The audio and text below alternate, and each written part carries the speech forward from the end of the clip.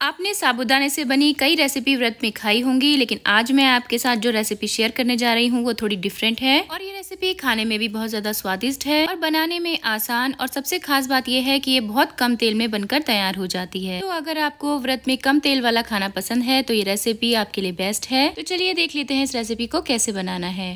तो इस रेसिपी को बनाने के लिए सबसे पहले गैस पर पैन चढ़ा दिया है मैंने और उसके बाद एक कप यहाँ पर पीनट्स लिए हैं, ये कच्चे पीनट्स हैं। तो इन्हें हम कुछ देर के लिए भून लेंगे और इन्हें जलाना नहीं है। हल्के ऊपर से ब्राउन स्पॉट्स आने लगे। तो तभी हमें इसकी गैस की फ्लेम ऑफ़ कर देनी है। इसका छिलका भी जब चटकने लगे तो आप समझ जाइए कि आपकी जो मूंगफली है, वो अच्छी तरह से भुन चुकी है। तो यहाँ पर आप देख सकते हैं हल्के स्पॉट्स भी आ गए और इसका जो छिलका है, वो भी चटकने लगा है। तो मैंने गैस की फ्लेम को ऑफ़ कर दी है और पीनट्स को ठंडा कर लेंगे। तो जब तक पीनट्स ठंडा हो रहे हैं, यहाँ दूसरी साइड मैंने एक कप साबुदाना लिया है, जिसे मैंने दो घंटे के लिए सोख करने रखा था। और आप देख सकते हैं, दो घंटे में ही अच्छी तरह से सोख हो गए हैं। साबुदाना जो है वो फूल गया है और उंगली से प्रेस करने पे देखिए बहुत आराम से ये प्रेस हो जा रहा है।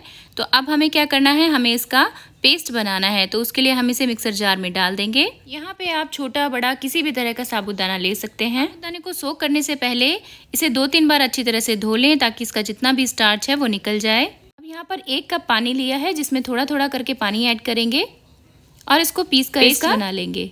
तो ये मैंने पीस लिया है ज़्यादा पानी की ज़रूरत इसमें नहीं पड़ी है। आप देख सकते हैं, इस तरह की कंसिस्टेंसी इसमें हमें चाहिए।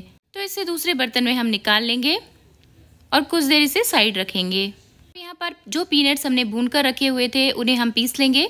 तो छोटे जार में मैंने इन्हें डाल लिया है और इसका पाउडर बना लिया है पीस कर अब ये पीनट्स के पाउडर को भी हम साइड में रखेंगे और एक बोल लेंगे, जिसमें थोड़ा पानी डाल लेंगे पहले।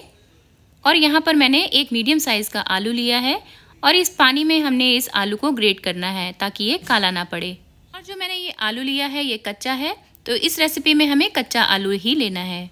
तो यहाँ पर मैंने पूरे आलू को अच्छी तरह से कद्दूकस कर लिया है और ये आलू को हमने बारीक ही कद्दूकस करना है। उसके बाद इन आलू के लच्छों को दो तीन बार अच्छी तरह से धो लेंगे और इसमें से आलू के लच्छों को निकाल कर जो हमने साबुदाने का पेस्ट बनाया था, उसमें हम इसे ऐड कर देंगे। और ये आलू की लच्छी डालने के बाद पीनट्स का जो पाउडर बनाया था, इसे भी हम इसमें ऐड कर देंगे। तो चलिए इसके बाद इसमें कुछ इंग्रेडिएंट्स और ऐड करने हैं। तो यहाँ पे मैंने बारीक कटी हुई हरी मिर्च और ग्रेट किया हुआ अदरक लिया है।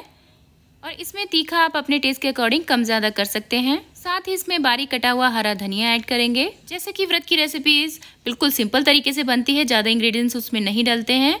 तो सेम इसी तरह से इसमें भी हम ज़्यादा इंग्रेडिएंट्स ऐड नहीं करेंगे। बस उसके बाद इसमें दो चम्मच हम दही ऐड करेंगे। और साथ ही इसमें स्वाद के अनुसार सेंधा नमक ऐड कर दें। और एक छोटा चम्मच इसमें भुना हुआ जीरा पाउडर ऐड करेंगे और लास्ट में आधा छोटा चम्मच काली मिर्च का पाउडर ऐड कर देंगे। और दोस्तों, इन इंग्रेडिएंट्स में से कोई भी चीज़ आप व्रत में नहीं खाते हैं तो उसे स्किप कर दें। अब इन सारी चीज़ों को हम मिक्स कर लेंगे। और इस बैटर को डोसे के बैटर की तरह ही बनाएँगे। अब यहाँ पर जो बैटर है, ये थोड़ा गाढ़ा है। तो जिस मिक्सर में हमने साबुदाने को पीसा था, उसमें थोड़ा सा पानी डालकर और हम इसे इस तरह से इसमें ऐड कर देंगे। तो ज़्यादा नहीं डालें पानी। थोड़ा सा ही डालें पहले और फिर इसे मिक्स कर लें। और अगर आपको लगे ये अभी भी गाढ़ा है तो थोड़ा पानी इसमें और ऐड कर लें और इस तरह की कंसिस्टेंसी इसकी बना लें। यहाँ पर आप देख सकते हैं, साबुदाने का ये बैटर बनकर हमारा तैयार है और इसमें लगभग एक कप पानी मेरा पूरा लग चुका है।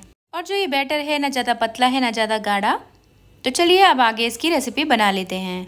अब यहाँ पर गैस पे मैंने पैन चढ़ा दिया है और इसमें एक छोटा चम्मच ऑयल डालकर इसे ब्रश से इस तरह से फैला लेंगे। और यहाँ पर तेल की जगह इसमें आप घी का इस्तेमाल भी कर सकते हैं।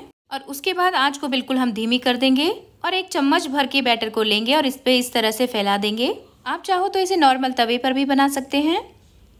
लेकिन जब हम तवे पे कोई चीज़ बनाते हैं तो उसमें ऑयल का ज़्यादा इस्तेमाल होता है। और बैटर को पैन में अच्छी तरह से फैलाने के बाद हम इसे कवर करके पकाएँगे। तो इसे कवर करने के बाद पाँच से छः मिनट के लिए हम इसे कुक करेंगे और पूरे पाँच मिनट के बाद हम कवर हटाएँगे।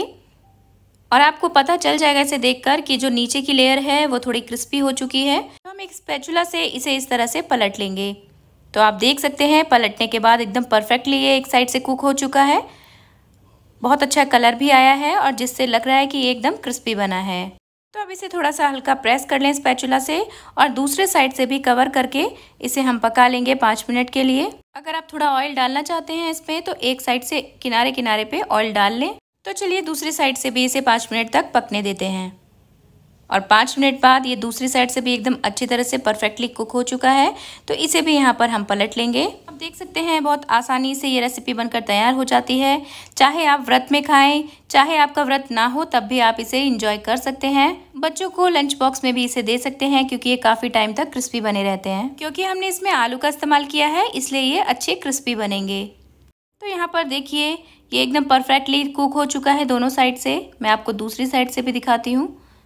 ये देखिए ब्राउन स्पॉट्स में आ गए हैं।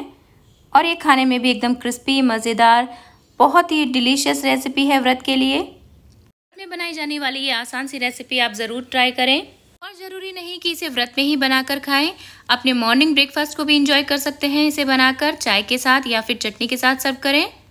तो दोस्तों रेसिपी अच्छी लगी हो तो वीडियो को लाइक शेयर करना बिल्कुल ना भूलें। और जो भी मेरे चैनल पे नए हैं, जिन्होंने मेरे चैनल को सब्सक्राइब नहीं किया है, वो और ऐसी ही रेसिपीज़ के लिए मेरे चैनल को सब्सक्राइब कर लें।